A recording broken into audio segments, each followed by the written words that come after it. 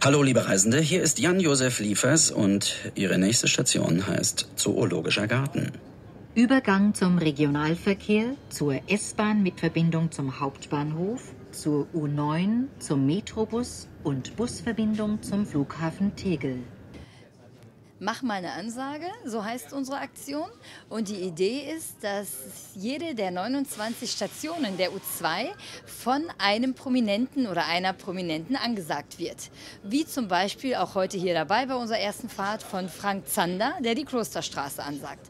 Und jeder sagt, konnte sich eine Station aussuchen, mit der er etwas verbindet.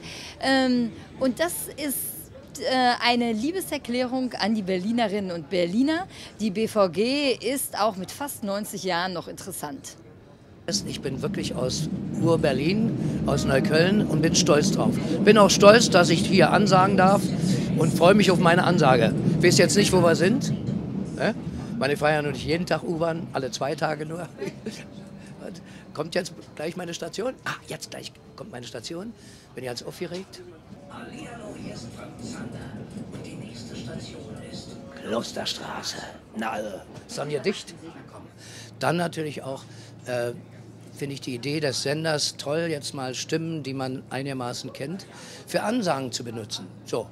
Und äh, ich habe also so einen Zettel gehabt vor anderthalb Jahren, glaube ich, vor einem Jahr, mit allen U-Bahn-Stationen und man hat also jetzt Klosterstraße rausgepickt. Ich habe natürlich dann auch Olympiastadion angesagt, klar, durch meine Hymne. Hallo, hier ist Veronika Ferres und Ihre nächste Station ist Ernst-Reuter-Platz. Übergang zum Metrobus. Ausstieg rechts.